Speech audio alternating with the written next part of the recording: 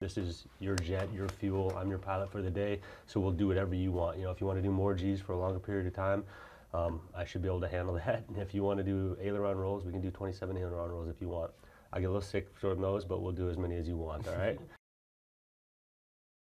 I think as a kid, I always wanted to be a, either a racing driver or a fighter jet pilot, and you know, obviously I went racing route. And I feel like I have the best job in the world, but this is the other side of it. You know, definitely look up to Yeah. what you guys do, and just just want to experience it. I mean, we'll see how how how it goes as it does, but you know, just give me the whole. Well, Damn it. Yep, whatever you want.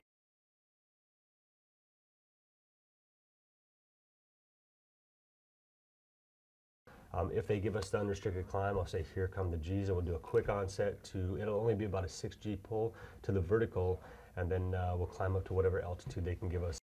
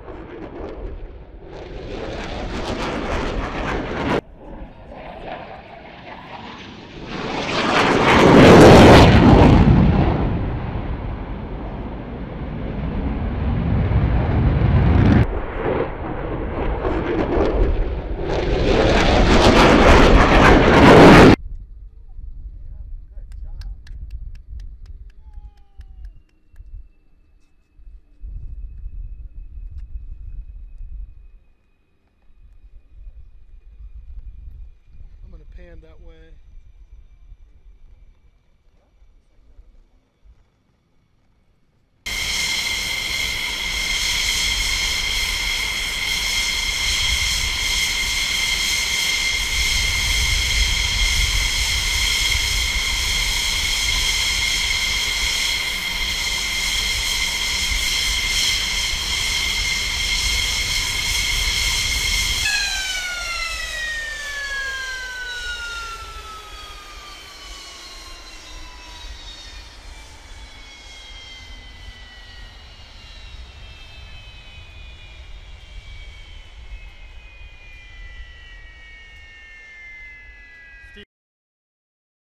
Turning.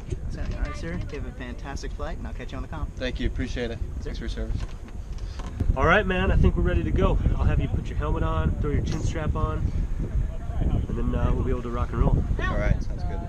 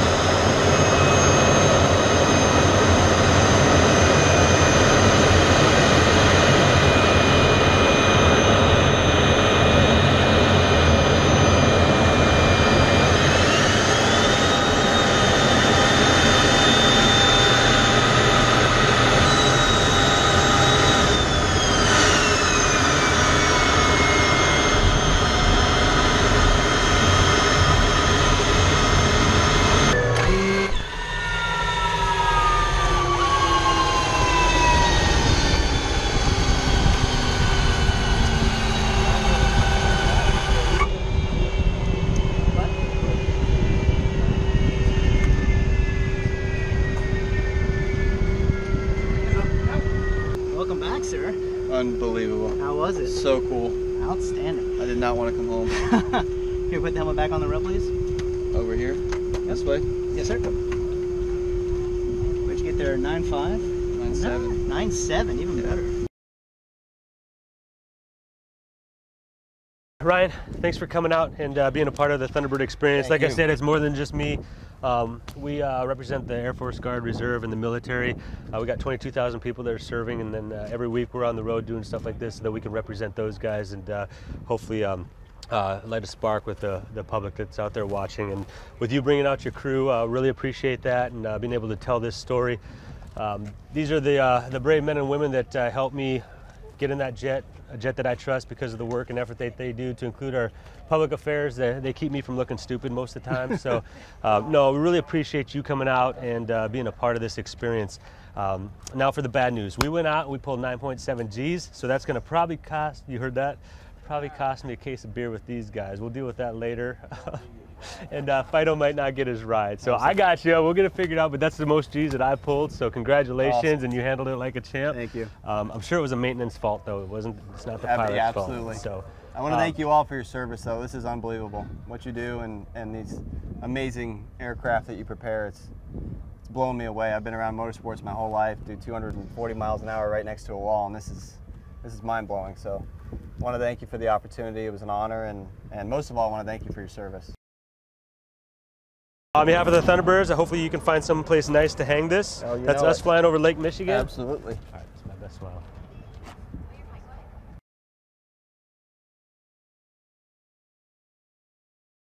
Ryan did an amazing job. It's nice to fly a guy from IndyCar that knows about aerodynamics and lift and you know as soon as you start manipulating that you have to do something to offset that. So for instance, once we're repositioning on the line, a lot of times we'll use the vertical turning room if we have it to where we pull our noses up to create a tighter turn circle and that's no different than a guy being on the Indy track, being on the outside of a turn, cutting down to the inside of the turn while dealing with those G forces. Now I think he said he pulls around five and a half G's and today he got to see what nine G sustained turn feels like and it's not so much on the right shoulder, it's more in the vertical because that's how you position the jet when you pull the G's.